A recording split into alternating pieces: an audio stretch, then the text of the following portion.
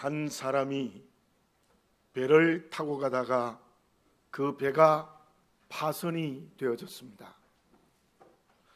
배 조각을 붙들고 온갖 고생 끝에 무인도에 도착을 했어요. 그는 무인도에서 살기 위하여 온갖 고생을 했고 몇 년이 지나면서 그의 모습은 짐승처럼 되어졌습니다. 그런데 몇 년이 지난 다음에 똑같이 또 한 사람이 파선이 되어져서 그 무인도로 오게 되어졌던 거죠. 두 사람이 그 섬에서 만났습니다. 먼저 온 사람이 물어봅니다. 당신 어디에서 왔습니까? 배가 파손되어 정신없이 여기까지 왔습니다. 지금 내 마음 속에 내가 어디서 왔는지 어디로 가는지를 전혀 알 수가 없습니다. 그렇다면 당신은 어디에서 왔습니까?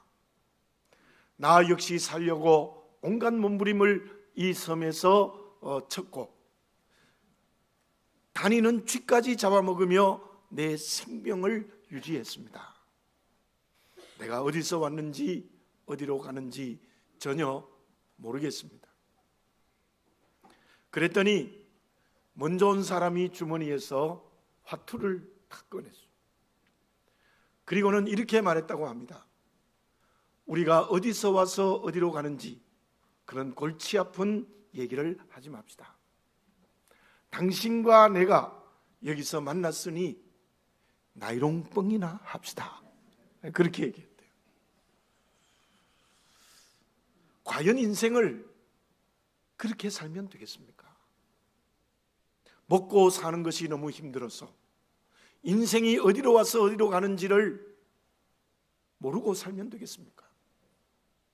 쾌락과 즐기는 것이 너무 좋아서 내 인생이 어디서 와서 어디로 가는 길을 전혀 생각지 못하고 살아가면 되겠습니까? 우리의 인생은 두 번 살 수 없습니다. 한 번밖에 살 수 없는 우리의 인생의 시간입니다. 그러므로 인생의 길에 뜻이 있고 가치가 있어야 됩니다. 뜻이 있고 가치 있는 길을 찾을 때 그 인생이 제대로의 길을 걸어간다고 말을 할 수 있는 거죠. 그렇다면 가치 있고 뜻이 있는 인생의 길을 찾는 것이 무엇이겠습니까? 사람에게는 육체도 있고 마음도 있습니다. 뿐만 아니라 영도 있습니다. 살아있다는 것은 육체에 생명이 있을 때 살아있습니다. 마음과 영에도 생명이 있을 때 살아있는 것입니다. 그런데 육체의 생명을 잃어가는 것이 심한 질병에 걸린 탓입니다.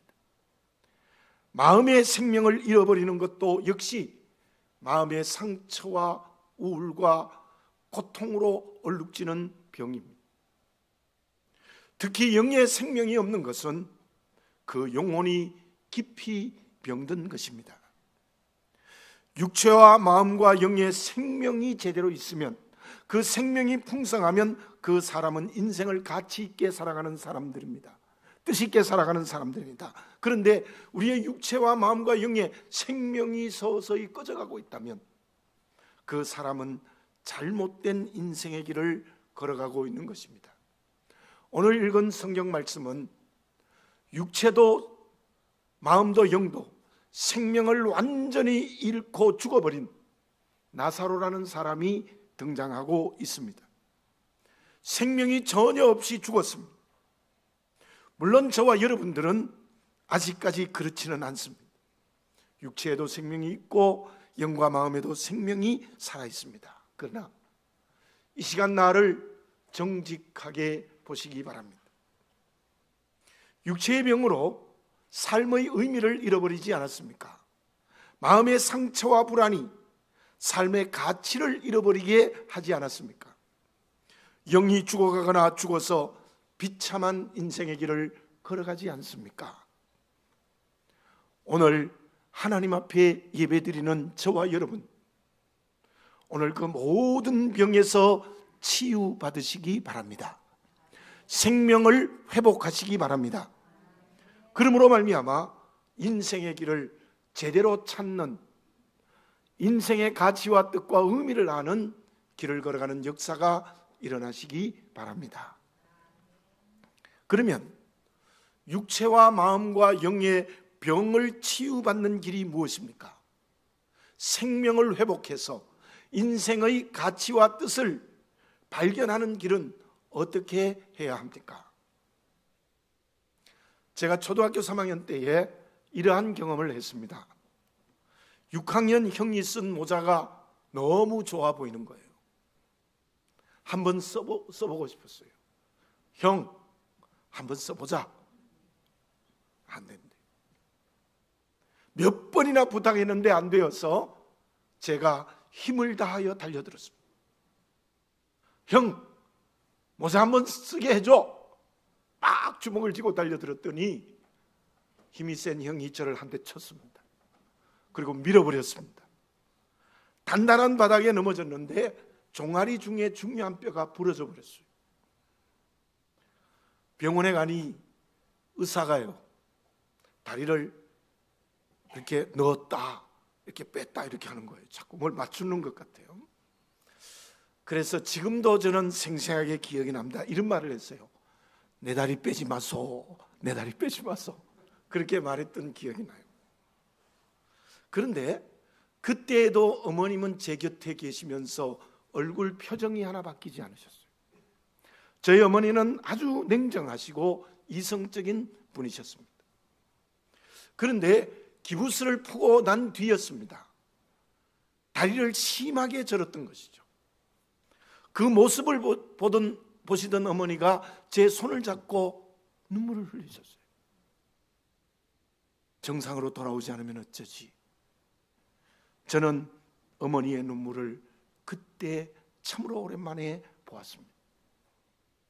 그때 어머니가 흘리신 눈물은 왜 흘리셨겠습니까? 아들인 저를 깊이 사랑하셨기 때문입니다. 예수님께서 생명을 모두 잃어버리고 죽은 나사로 앞에서 어떻게 하셨습니까? 오늘 본문의 말씀 35절에 보면 눈물을 흘리셨다 그랬습니다. 36절에 이러한 말씀이 있습니다. 이에 유대인들이 말하되 보라 그를 얼마나 사랑하셨는가 하며 그때 주변에 있던 유대인들이 말한 거죠. 주님이 얼마나 나사로를 사랑하셨기에 예수님께서 눈물을 흘리시겠느냐. 예수님은 나사로의 죽음 앞에서 우셨습니다. 그것은 나사로를 깊이 사랑하셨기 때문인 거죠. 그 예수님이 지금 저와 여러분들 앞에 와 계십니다. 육체의 병으로 생명을 잃어가고 있는 나를 보고 눈물을 흘리십니다. 마음의 상처로 고통과 아픔과 우울감에 젖어 있는 나를 보시고 생명을 잃어감을 보시고 눈물을 흘리십니다. 영이 죽어가는 나를 보시고 심한 눈물을 흘리십니다. 왜 예수님께서 내가 생명의 길을 잃어버린 모습을 보고 우십니까? 육체의 병, 마음의 병, 영의 병을 보시고 예수님이 왜 눈물을 흘리십니까? 그것은 예수님께서 저와 여러분들을 깊이 사랑하시고 계십니다. 오늘 처음 교회에 나오신 분도 계실 겁니다. 또 오랫동안 신앙생활 하신 분도 계실 것입니다. 예수님은 그렇게 나를 깊이 사랑하셔서 울고 계심을 눈을 열어 보시기를 바라겠습니다. 그 눈물을 경험하시기 바랍니다. 예수님은 나의 생명 잃어가는 것을 보시고 가만히 계시는 분이 아닙니다. 나를 너무나 사랑하기에, 진정으로 사랑하시기에, 지금도 내 생명의 잃어감을 보고 울고 계신, 계시는 그 예수님을 만나시기 바랍니다. 그렇다면 죽은 나사로를 보고 눈물을 흘리시는 사랑을 다른 말로 표현하면 무엇입니까? 나를 보시고 울고 계시는 주님의 사랑은 무엇입니까? 제 다리가 절룩거리는 것을 보시고 눈물을 흘리면서 말씀하셨던 것이 기억납니다. 내가 대신 아팠으면 좋겠다. 내가 다리를 절고 너가 성하게 뛰어다녔으면 좋겠다는 말씀을 어머님이 제게 하시면서 우셨습니다. 예수님이 눈물을 흘리신 사랑은 내 육체의 병을 자기의 것으로 삼으시는 사랑입니다. 내 마음에 온갖 고통과 우울과 불안을 자기의 것으로 삼으시는 사랑입니다. 내 영의 병을 자기의 것으로 삼으시는 눈물 흘리심의 사랑입니다. 오늘 그렇게 주님께서 내 육체의 질병, 내 마음의 병, 내 영의 병을 전부 자기가 아픈 것처럼 아파하시면서 울고 계시는 그 예수님의 사랑을 가슴으로 느끼시기 바라겠습니다. 성령으로 말미암아 그 예수님의 사랑이 체험 되어지시기 바랍니다. 한 번은 예수님께서 나병 환자를 만나셨습니다. 지금도 나병 환자는 격리시키지요. 전염이 되기 때문에. 2000년 전에 이스라엘에서의 나병은 죄의 결과라고 생각합니다. 그래서 동네 밖으로 쫓겨났고 그 누구도 그를 만질 수 없습니다. 만약에 만졌다면 그 사람도 똑같이 부정하게 됩니다. 그런데 예수님께서는 그 나병 환자를 만지셨습니다. 그 이유는 그 환자를 진심으로 사랑하셨기 때문입니다. 그 사랑은 그 나병 환자의 병을 자기의 병으로 삼으시는 예수님의 사랑이셨습니다. 또 한 번은 예수님께서 삭개오라는 사람의 집에 들어갔습니다. 그 당시 이스라엘은 로마의 식민지였습니다. 삭개오는 세금을 거두는 사람이었는데 가능하면 백성들로부터 많은 세금을 거두어서 로마에 바치고 나머지는 자기의 소유가 되어져서 부자였습니다.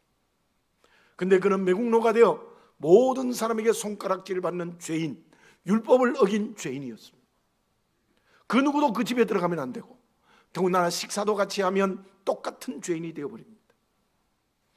그런데 예수님께서는 그 집에 들어가셔서 그 사개와 함께 식사를 하셨습니다. 왜 그러셨습니까? 사개오를 지극히 사랑하셨기 때문입니다. 그 사랑은 사개오의 죄를 자기의 것으로 삼으신 사랑입니다. 지금 예수님은 그렇게 나를 사랑하시는 눈물을 흘리시고 계십니다. 다시 말씀드립니다. 내 육체의 질병, 내 마음의 병, 영의 병을 전부 자기의 것으로 삼으시는 사랑으로 지금 주님은 우리 앞에서 울고 계시는 것입니다. 다시 한번 말씀드립니다. 그 주님의 사랑을 성령으로 경험하시기 바랍니다. 그때 우리의 모든 병이 치유되기 시작하고 그때 우리는 생명을 얻어 인생의 가치와 뜻이 있는 길을 찾게 되는 역사가 일어나는 것입니다. 그러면 주님께서 나의 병을 자기의 것으로 삼으시는 사랑은 어떤 방법으로 우리를 치유하십니까? 생명을 회복해주는 예수님의 방법은 무엇입니까? 제가 청년 때 이러한 경험을 한 적이 있습니다. 오른쪽 엄지 발가락 사이가 문제가 생겼습니다. 벌겋게 부어오르거나 심하면 골마서 고름까지 흘렀습니다. 약국에서 약을 먹으면 괜찮아졌다가 또 벌겋게 부어오르고 또 골맞습니다. 마침 저희 동네에 시내 큰 병원의 의사들이 진료를 나왔습니다. 제가 종일 옆에서 도와드렸습니다. 다 마치고 의사 선생님이 제게 물었습니다. 아픈 데가 없느냐? 발을 보여줬더니 의사가 의사 선생님이 이렇게 말했습니다. 여기서는 불가능하니 내일 병원에 찾아오라는 거. 이튿날 병원에 갔더니 그 의사 선생님이 마침 외과 의사여서 간단한 수술을 해 주었습니다.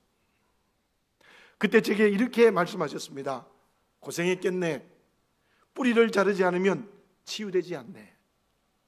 지금까지 그 자국은 남아 있지만 더 이상 문제가 생기지 않습니다. 육체의 병도 원인을 제대로 알아서 치료, 치료해야 치유가 될 수 있습니다. 그렇다면 우리가 육체의 질병, 마음의 병, 영의 병으로 생명을 잃어가는 근본적인 뿌리가 무엇입니까?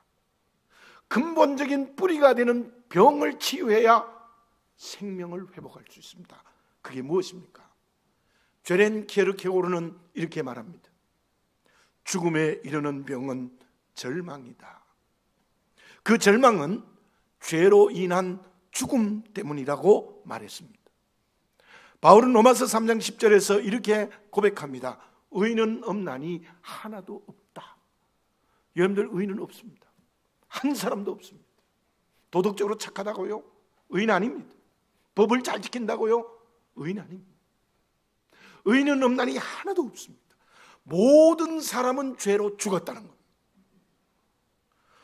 죄로 죽은 것, 그것이 뿌리 되는 병입니다.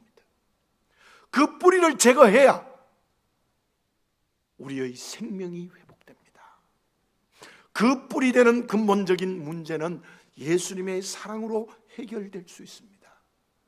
그것을 죽은 나사로를 살리시는 예수님을 통해서 알 수 있고 체험할 수 있습니다. 다시 말씀드리면 주님의 말씀과 사랑으로 말미암아 죄로 인한 죽음이라는 뿌리의 절망의 병을 치유할 수 있다는 것입니다. 그러므로 우리는 죽지 않고 영원한 생명을 얻게 되는 것이죠. 예수님은 나사로 무덤 앞에 가셨습니다. 38절과 39절을 제가 봉독해 드리겠습니다. 이에 예수께서 다시 속으로 비통히 여기시며 무덤에 가시니 무덤이 굴이라 돌로 막았거늘 예수께서 이르시되 돌을 옮겨 놓으라 하시니 그 죽은 자의 누이 마르다가 이르되 주여 죽은 지가 나흘이 되었음에 벌써 냄새가 나나이다. 이 나사로가 무덤에 들어가서 죽은 지 나흘이 되어서 벌써 냄새가 난다고 그 누이 마르다가 예수님께 보고했습니다. 물론 우리는 나사로처럼 죽어 무덤 속에 있지는 않습니다. 그러나 우리의 질병이 심각하지 않습니까? 우리의 육체의 질병이 심각하지 않습니까? 내 마음의 병이 심각하지 않습니까? 내 영의 병이 절망으로 갈 수밖에 없는 병으로 시달리고 있지 않습니까? 죽어서 벌써 냄새가 나나이다 하는 병에 깊이 갇혀져 있는 내 모습이 아닙니까? 그 모습을 본 예수님께 첫 번째 명령은 무엇이었습니까? 이스라엘의 무덤은 앞에 돌을 막 바위를 이렇게 파서 무덤을 만들고 앞에 돌을 막아 놓습니다. 돌을 옮겨 놓으라. 돌을 옮겨 놓으라. 돌 때문에 나사로는 죽음의 감옥에 갇혀 있다는 것입니다. 똑같이 주님은 지금 저와 여러분에게 말씀하고 있습니다. 너가 죄로 죽은 것은 돌이 너의 인생을 가로막고 있기 때문이다. 그 돌을 옮겨 놓으라는 겁니다. 그 돌을 옮겨 놓으라는 것은 두 가지 의미가 있습니다. 첫째로는 외부적인 돌입니다. 어떤 환경이 나를 예수 못 믿게 합니다. 어떤 관계가 나를 예수 앞으로 못 나오게 합니다. 그건 돌입니다. 우리의 환경과 관계가 우리를 주님 앞으로 인도하지 못한다면 그게 내 인생의 앞을 가로막고 있는 돌입니다. 사랑하는 교우 여러분, 특별히 오늘 처음 온 우리 사랑하는 교우 여러분들, 왜 나를 주님 앞으로 나오지 못하게 하는 환경이 무엇이며 관계가 무엇이냐? 그 돌을 옮기시고 주님 앞으로 나오시기 바라겠습니다. 오래 믿은 여러분들도 하나님 앞에 나오는 예배를 소홀히 여기지 마십시오. 환경 때문에 주의를 지키지 못해요. 관계 때문에 주의를 지키지 못해요. 그러면 안 됩니다. 언제나 그 환경과 관계의 도를 온전히 치울 때 우리는 주님 앞에 날마다 나올 수 있습니다. 또 하나는 내 마음입니다. 마음의 돌입니다. 주님 앞에 나가지 못하는 뭔가 마음의 돌이 있습니다. 한국 교회를 보니 나는 예수 믿기 싫어. 참 일부 교회들이 그런데요. 또 누구 예수 믿는 사람 보니까 정말 내 마음에 들지 않아. 나는 예수 안 믿어. 예, 그럴 수 있습니다. 또한 내 마음에 하나님 믿기 싫다는 돌이 있습니다. 여러분들 오늘 그 돌을 옮기시기 바라겠습니다. 오늘 처음으로 나온 교우 여러분들이 있다면 그분들은 참 부탁에 의해서 나왔겠지만 돌을 옮기고 교회에 나오신 것입니다. 하나님이 크게 기뻐하실 것입니다. 그리고 두 번째 명령이 무엇입니까? 41절, 42절에서 예수님께서 하나님께 기도하십니다. 돌을 옮겨 놓으니 예수께서 눈을 들어 우러러 보시고 이르시되 아버지여 내 말을 들으신 것을 감사하나이다 항상 내 말을 들으시는 줄을 내가 알았나이다 그러나 이 말씀 하옵는 것은 둘러선 무리를 위함이니 곧 아버지께서 나를 보내신 것은 그들로 믿게 하려 함입니다 라는 기도를 간절히 드리고는 43절에서 무엇이라고 말씀하십니까? 큰 소리로 나사로야 나오너라 그랬습니다. 나사로야 나오너라. 그때 44절에 보니까 시신이 배로 동인 채로 무덤 밖으로 쫓아 나오는 역사가 일어났습니다. 그것이 오늘 무엇이겠습니까? 비유해서 설명드립니다. 예수님께서 십자가를 지시기 전에 겟세만의 동산에서 심한 통곡의 눈물을 흘리시면서 기도하셨습니다. 너무나도 힘든 로마의 사형들이었기 때문에 그리고는 로마의 사형들은 십자가에서 자기 생명을 던지십니다. 그 십자가에서 그 생명을 던진 것은 예수님께서 저와 여러분들의 죄로 죽은 그 뿌리를 자기의 것으로 삼으시고 나를 대신해서 죽으신 것입니다. 그것이 예수님의 우시는 눈물의 사랑이었습니다. 예수님이 나를 향하여 우시는 눈물의 사랑을 십자가에서 내 죄를 자기의 것으로 삼으시고 내 죽음을 자기의 것으로 삼으시고 십자가에 죽으시는 역사를 일으켰습니다. 큰 소리로 말씀하십니다. 누구누구야? 내가 너를 위하여 십자가를 졌으니 내가 너를 위하여 십자가 진 이걸 믿어라. 믿으면 너 무덤 문에서 바깥으로 쫓아 나오는 살아나는 역사가 일어난다. 그렇게 큰 소리로 말씀하고 계십니다. 그때 나사로는 몸에 배로 동인 채로 나왔다는 말은 어떤 의미가 있는가 하면 우리가 예수님 앞에 나오지 못하게 하는 환경과 관계에 매일 수도 있고 세상의 물질과 지위에 매일 수도 있고 사람에게도 매일 수 있습니다. 맨 그대로 주님 앞에 나오시기를 바라겠습니다. 괜찮습니다. 있는 그대로의 모습대로 내 환경과 관계, 내 마음에 있는 그대로 주님 앞에 오늘 쫓아 나오시기를 바라겠습니다. 그 큰 소리로 나사로야 나오라 부르시는 그 음성을 오늘 들으시고 순종 하시기 바라겠습니다. 우리의 잘못이 무엇입니까? 듣지 않기 때문입니다. 이 듣는다라는 말은요, 물론 고막의 정상 여부를 말하는 것도 있지만, 듣는다는 말은 히브리 표현과 우리 표현이 매우 비슷합니다. 순종한다는 뜻입니다. 이 아이가 어머니의 말을 잘 듣습니까? 그것은 고막의 정상 여부를 말하는 것이 아니라 얼마나 어머니의 말씀에 순종하느냐는. 로마서 10장 17절에 이렇게 말씀합니다. 믿음은 들음에서 나고 믿음은 듣는 곳에서 시작한다는 겁니다. 오늘 이 주님의 두 가지 말씀, 돌을 옮겨 놓으라, 무덤에서 나오라, 그 말씀을 듣고 순종하시기 바랍니다. 성경에 보면 아브라함이라는 사람이 나와요. 어떻게 아브라함이 믿음의 조상이 되었습니까? 하나님이 말씀하시면 무조건 순종하는 거예요. 본토 진적을 떠나라, 갈 곳이 없어서 떠나는 겁니다. 외아들 이삭을 번제로 바쳐라, 상관없이 하나님께 번제로 바치는 겁니다. 그대로 순종합니다. 그는 이스라엘 민족의 조상이 되었고 저와 여러분들의 모든 믿는 사람의 영적 조상이 되어졌습니다. 그런데 그 아브라함을 따라 나섰던 조카로서는 어떻습니까? 하나님의 말씀 듣지 않습니다. 순종하지 않습니다. 자기 욕심대로 살아갑니다. 그래서 기름진 요단들을 멋대로 선택해요. 그게 소돔과 고모라입니다. 아내는 소금 기둥이 되고 딸들과 관계를 통해서 이스라엘과 영원히 대적이 되는 모압과 암본족 속의 조상이 되어져 버립니다. 인생의 길은 결국 어떻게 하면 가치 있고 의미 있는 길을 찾느냐의 문제는 둘 중에 하나 선택합니다. 이것이냐 저것이냐의 문제입니다. 예수님의 말씀을 듣든지 아니면 그렇지 않든지입니다.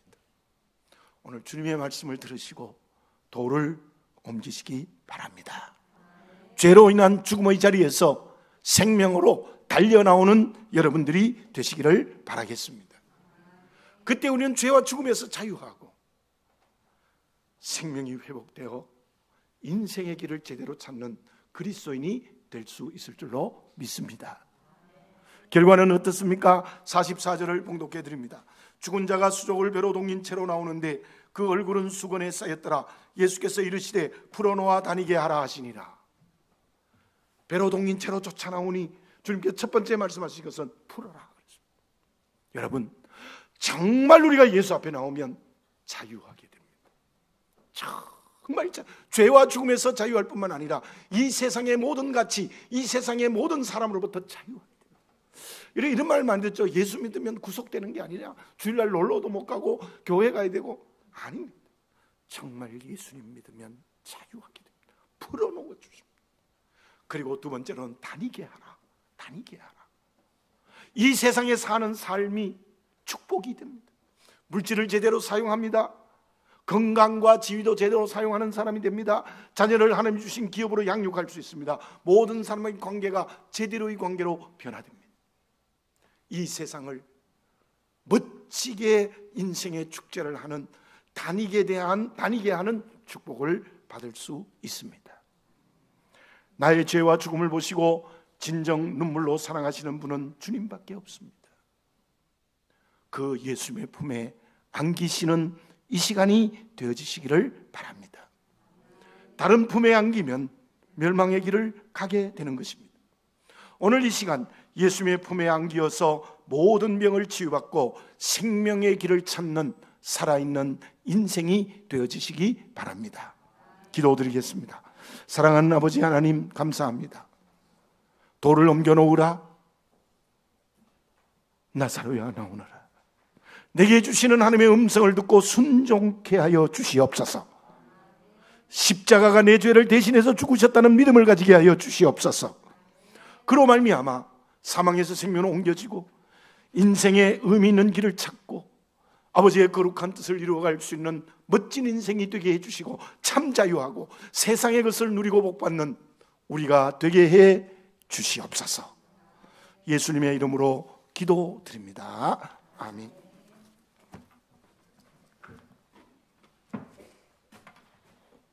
찬송가 260장으로 하나님께 찬양을 올려드리겠습니다.